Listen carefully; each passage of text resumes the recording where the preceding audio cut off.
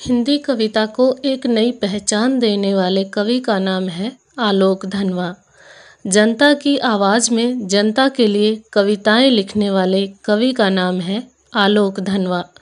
Leak से हटकर नए ढंग की कविताएँ लिखने वाले कवि का नाम है आलोक धनवा। तो चलिए, इन्हीं आलोक धनवा का जीवन परिचय आज करते हैं।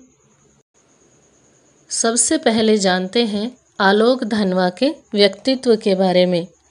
आलोक धनवा का जन्म 2 जुलाई 1948 को बिहार के मुंगेर जनपद में हुआ था।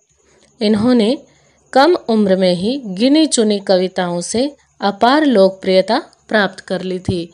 मतलब इन्होंने थोड़ी सी उम्र में ही कुछ कविताएँ लिखी और उन गिनी चुनी कविताओं से ही ये साहित्य जगत में प्रसिद्ध हो गए। इन्होंने कभी थोक के भाव में लेखन नहीं किया। मतलब संख्या में अधिक कविताएँ नहीं लिखी।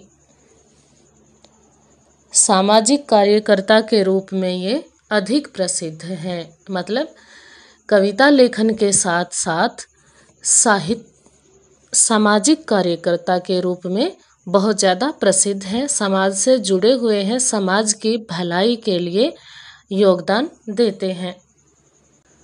अब जानते हैं इनकी रचनाओं के बारे में। इन्होंने अब तक केवल एक काव्य संग्रह लिखा है। काव्य संग्रह का मतलब होता है कविताओं का संग्रह। तो इनके काव्य संग्रह का नाम है दुनिया रोज बनती है और ये प्रकाशित हुआ था उन्नीस सौ अठहत्तर ईस्वी में। इनकी कुछ प्रमुख कविताएँ हैं जो इस काव्य संग्रह में हैं, वो बहुत प्रसिद्ध हुई हैं। उन्हीं में से एक कविता पतंग हमारे पाठ्यक्रम में भी है, जो हमने पहले पढ़ी थी। तो देखते हैं इनकी प्रमुख कविताएँ हैं। जनता का आदमी, भागी हुई लड़कियाँ, ब्रूनो की बेटियाँ, गोली दागो पोस्टर, कपड़े के जूते और पतंग। अब देखते हैं कि इन्होंने जितना साहित्य लिखा है, उसकी विशेषता क्या है। सबसे पहली विशेषता है सामाजिक चेतना। इनकी कविताओं में सामाजिक चेतना का स्वर प्रमुख है। ये सामाजिक कार्यकर्ता के रूप में कार्य करते ही हैं तो समाज को जगाने का काम भी अपनी कविताओं से करते हैं। और दूसरी विशेषता है शोषितों के प्रति सहानुभूति, इनकी कविताओं में देखी जा सकती है।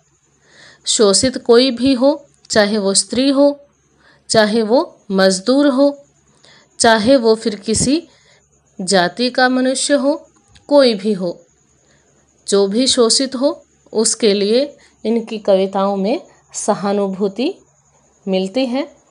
तीसरी विशेषता है राजनैतिक बुराइयों पर करारे व्यंग। इन्होंने अपनी कविताओं के माध्यम से राजनीति के क्षेत्र में फैली हुई बुराइयों पर करारे व्यंग किए हैं।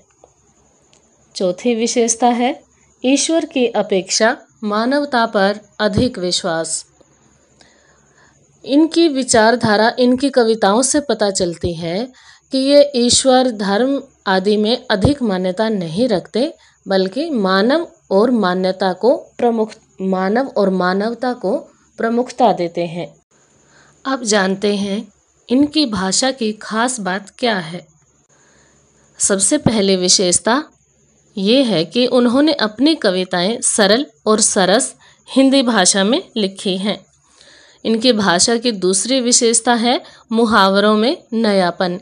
इन्होंने जो मुहावरे अपनी कविताओं में प्रयोग किए हैं, वो बिल्कुल नए हैं। घिसे पिटे मुहावरे इन्होंने प्रयोग नहीं किए हैं। इनकी भाषा की तीसरी विशेषता है नवीन प्रतीकों और नवीन बिंबों का प्रयोग। हमने कविता में देखा भी था, सूरज की आँखों जैसा लाल सवेरा, चमकीले इशारे इस तरह की कितने सुंदर सुंदर, बिल्कुल नए प्रतीक और बिंब अपनी कविता में इन्होंने प्रयोग किए हैं, जो किसी अन्य कवि की कविताओं में नहीं पाए जाते। इनकी भाषा शैली की अंतिम विशेषता है मुक्त छंद में लेखन। इन्होंने अपनी भाषा को छंदों के बंधन में नहीं बंधने दिया, मुक्त छंद में अतुकांत लेखन इन्होंने किया है।